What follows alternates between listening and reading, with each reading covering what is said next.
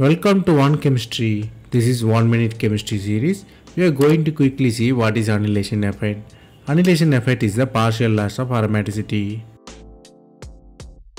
First, let us see what is annelation. If you look at the naphthalene, it has two rings. It has 10 pi electron. But if you look at individually the ring, one ring is technically aromatic, other ring is kind of anti-aromatic. Right way to say it's less aromatic.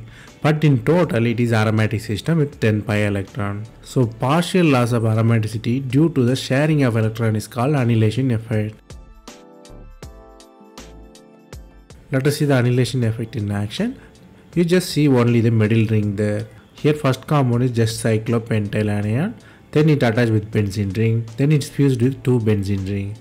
What really happened is the first one don't have annelation. Second one is sharing with one benzene ring so effect is medium. Third one is benzene ring on either side.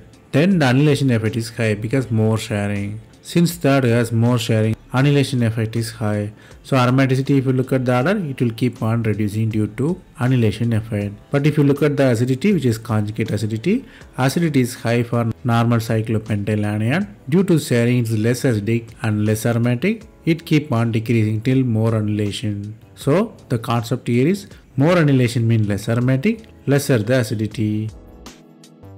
That's all from this video. I hope it was useful. Thanks for watching.